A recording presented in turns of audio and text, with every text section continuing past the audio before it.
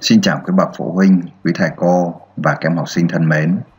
Trong video hôm nay chúng ta tìm hiểu tiết số 2, bài 71, ôn tập hình học và đo lường. Vở bài tập môn toán lớp 4, bộ sách kết nối. Rồi, bây giờ các em hãy mở sách của chúng mình ra trang số 118 nào.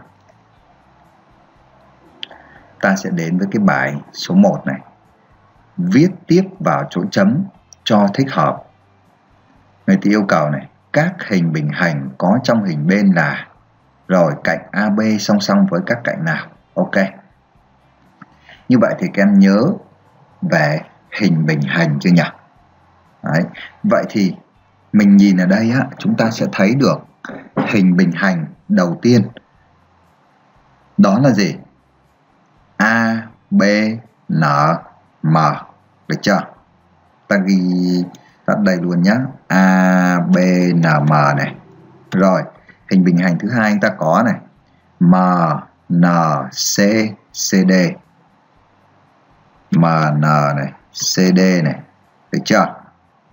Rồi và mình có một cái hình bình hành lớn nữa đó là gì? A B C C D. Ok chưa? Đấy, như vậy chúng ta có mấy? Ba cái hình bình hành ở đây, đúng không? Và ta hỏi này, cạnh AB thì song song với các cạnh nào? Như vậy thì hình bình hành thì có hai cạnh đối diện song song với nhau, đúng không vậy thì AB nó sẽ song song với thằng M MN và AB nó cũng sẽ song song với thằng nào nhỉ? À với thằng D DC ok. Khá dễ dàng, đúng không sang bài số 2 viết cái số thích hợp vào chỗ chấm 5 giờ thì bằng bao nhiêu phút? Các em biết 1 giờ là 60 phút, vậy thì 5 giờ 60 nhân với 5 đúng không? Thì sẽ là 300 300 phút. Ok. 15 phút thì bằng bao nhiêu giây? 1 phút là 60 giây, vậy thì 15 phút các em lấy 15 nhân 60 15 nhân 60 thì bằng bao nhiêu? 15 x 6 là 9 900 giây. Đúng không? Ok. 4 thế kỷ bằng bao nhiêu năm? Một thế kỷ là 100 năm. 4 thế kỷ thì bằng 100 x 4 là 400 400 năm. Được chưa? Xong nhá. Sang câu B này.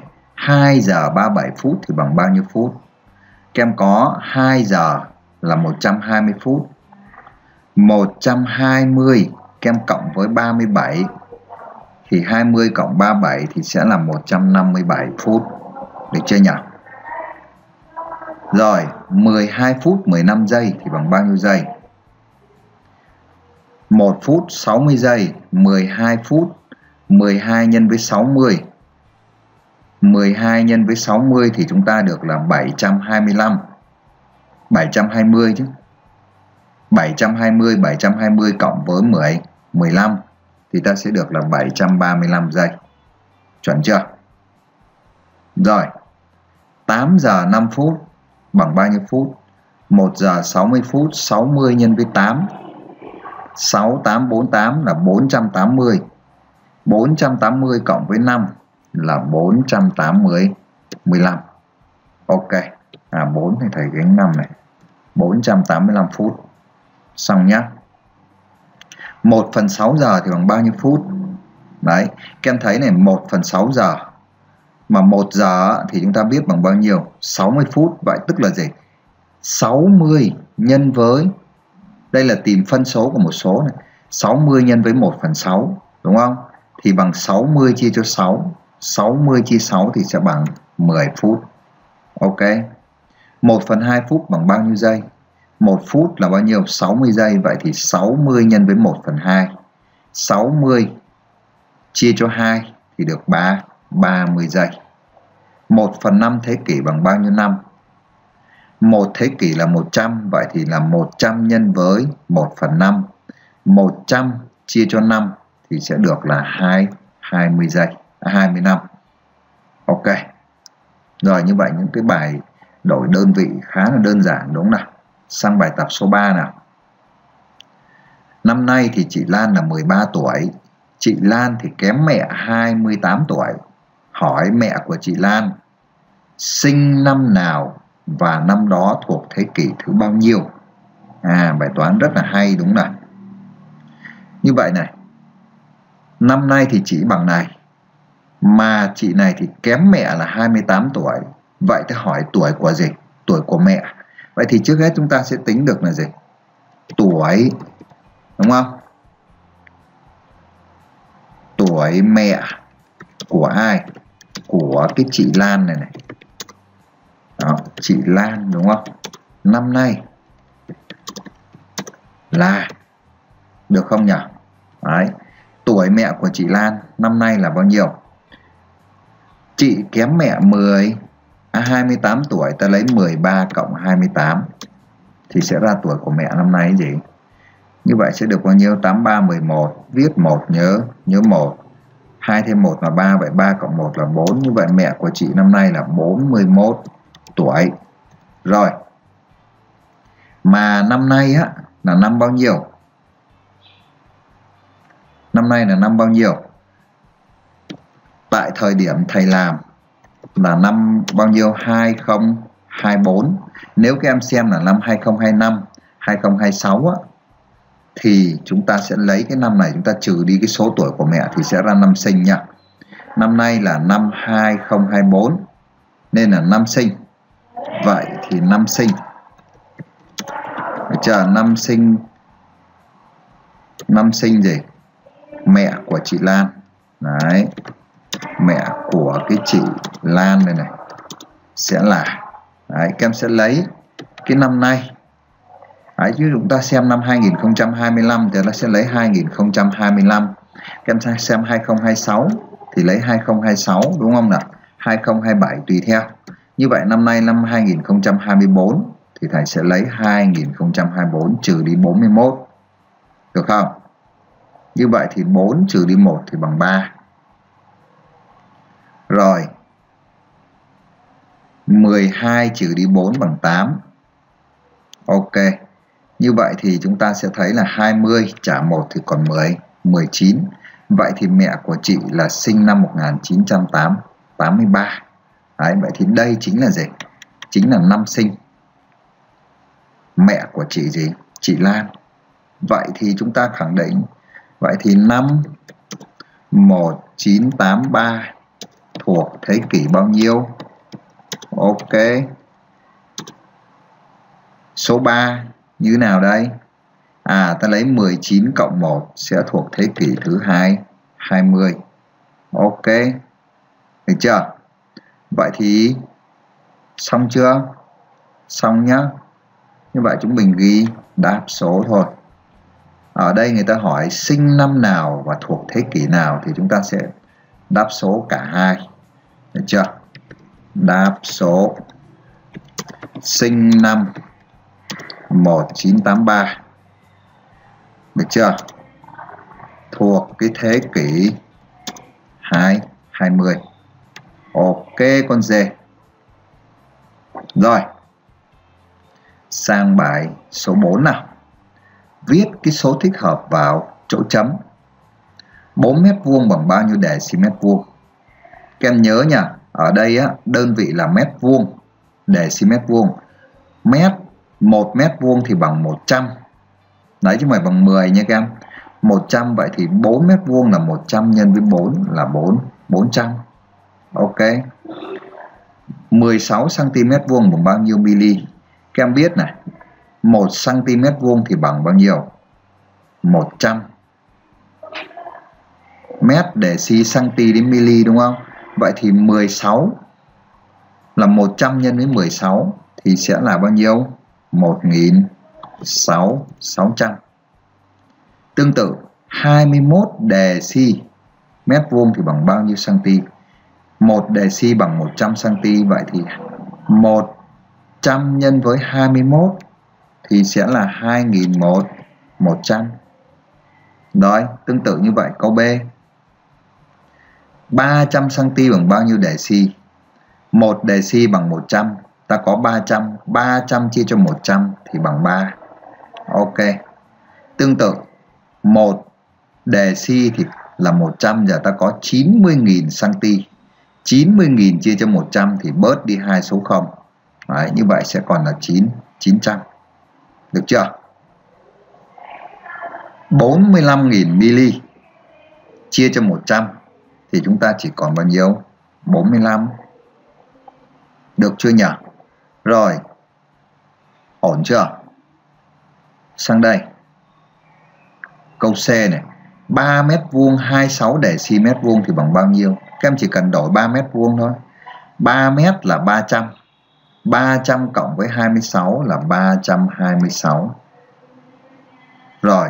9 đề xi 30 cm 9 đề si là 900 900 cộng với 30 là 930 rồi, tương tự. Cm ra mm 8 cm là 800 800 cộng với 8 là 808 7 mét vuông bằng bao nhiêu cm chú ý này 1 mét vuông thì lại bằng bao nhiêu? 10.000 nha 10.000 cm vậy thì 10.000 nhân với 7 là 70.000 70.000 kem cộng với 50.000 đây thì chúng ta sẽ được là 70.050 Đấy, nhớ chỗ này nhá. 1 mét vuông là 10.000 cm vuông nha các. Ok. Rồi bài số 5 Wow, bài số 5 có câu A câu B nữa cả Rồi câu A nào? Người ta dùng loại gạch men hình vuông cạnh là 60cm để lát cái nền. Một căn phòng hình chữ nhật có chiều dài là 9m đơn vị này cm này, chiều rộng là 6 mét này. Hỏi cần bao nhiêu viên gạch men loại đó để vừa đủ lát kín cái nền căn phòng? Và biết phần diện tích mạch vữa là không đáng kể. Như vậy á, ở đây á, thì chúng ta thấy này cái viên gạch ở đây là 60 đúng nào? Mà cái căn phòng này diện tích nó là gì? Mét. Vậy thì chúng ta cứ thực hiện tính xong đã rồi chúng ta sẽ thực hiện sau. Ok vậy thì đầu tiên á, mình sẽ tính cho thầy là cái diện tích của một cái viên gạch đi. Được chưa? Diện tích một cái viên gạch. Hình vuông cạnh bao nhiêu? Cạnh 60 đấy, có cạnh là 60 cm là, đấy.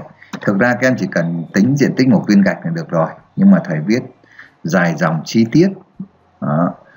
hình vuông thì bằng cạnh nhân với chính chính nó. 60 nhân 60 thì bằng bao nhiêu? 6636 3600 đơn vị là gì? Xăng tí đơn vị là xăng ti gì? Diện tích thì phải là cm mét vuông. Được chưa nhỉ? Đấy, diện tích của thằng này là cm vuông nha các em. Được chưa nhỉ? Ok. Rồi rồi như vậy đây là diện tích của một viên viên gạch. Bây giờ chúng ta sẽ tính là diện tích của cái gì? Cái nền căn phòng đó diện tích.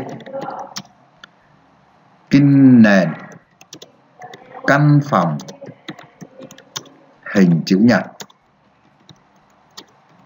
Đấy, đó là Đấy, em nào mà thích màu mè nữa thì có chiều dài là mấy? 9 chiều rộng là 6 diện tích hình chữ nhật thì bằng dài nhân cho rộng.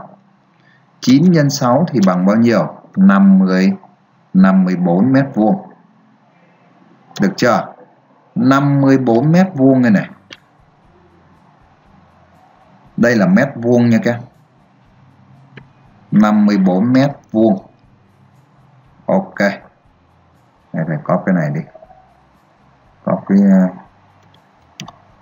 có cái này để cho nó Đấy, 54 mét vuông nhá. Ok chưa? Rồi vậy thì bây giờ chúng mình mới đổi này. Đổi cái thằng gì? Này ra đơn vị là cm vuông. Đúng không? 54 này mét vuông. Đấy kem đổi nó ra. Đơn vị là cm vuông cho thầy.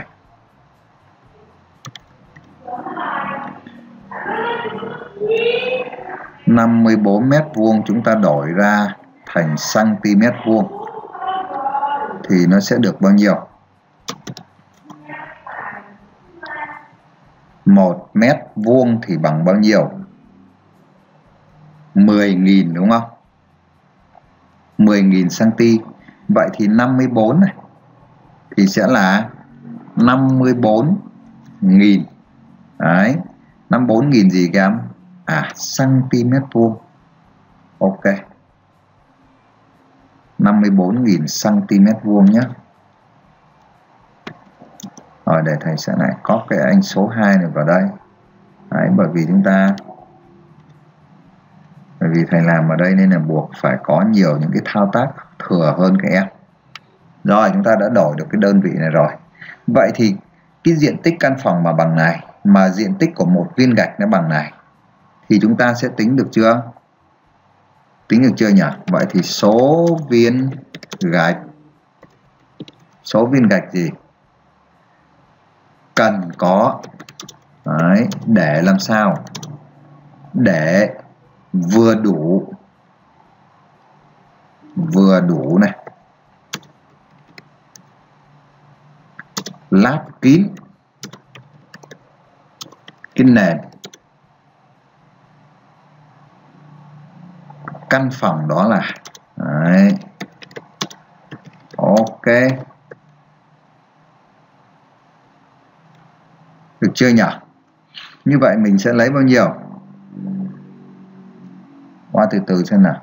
9654 54 10.000 mà. 10.000 vậy đây thiếu số 0 rồi. Đúng không? 540.000 mới đúng chứ. Đấy, 540.000 mới đúng nha các em chứ không phải 54.000 vậy 1 mét vuông bằng 10.000 cm mà. Đấy, như vậy ta sẽ lấy cái gì? Lấy 540.000 các em chia cho bao nhiêu? Chia cho 3.600 đó, như vậy chúng ta được bao nhiêu? Được bao nhiêu nhỉ? 150 vậy thì 150 này chính là 150 viên. Ok. Đấy. đây chính là gì? Đáp số của bài toán. 150 viên viên gạch. Ô ok con dê. Xong. Sang bài B. Khoanh và chữ đặt trước câu trả lời. Đúng nếu dùng cái loại gạch men hình vuông có cạnh là 30 thì số viên gạch men cần dùng để lát kín căn phòng ở câu A là bao nhiêu? À thì các em chỉ cần tính cái gì nhỉ? Tính diện tích của cái thằng này thôi. Đúng không? Nếu là 30 á, thì diện tích của một viên gạch sẽ là bao nhiêu? Đấy, thầy nháp đây nhá, diện tích của một cái viên này. Một viên gạch này thì chúng ta sẽ lấy là bao nhiêu? 30 nhân cho 3 30 30 nhân 30 thì bằng bao nhiêu? 9 gì? 900 đúng không? Đấy, 900 cm mét vuông. Ok. Vậy thì để mà lát đủ thì các em sẽ lấy cái gì đây? 540.000 540.000 các em chia cho thằng nào? Chia cho 9 900 đấy. Đúng không? Ok. Như vậy thì nếu mà cái viên gạch bé hơn thì chúng ta sẽ được bao nhiêu? 540 chia 954 chia 9 được 6 như vậy 6 gì? 600 viên. Ok. Rồi như vậy ta sẽ chọn đáp án nào đây? À đáp án D này các em. Đấy, 600 viên nhá. Ok. Phần này phần nháp nha. Rồi như vậy mình đã hoàn thành được cái bài 71 và đừng quên là chia sẻ kênh cũng như video này đến cho các bạn nhé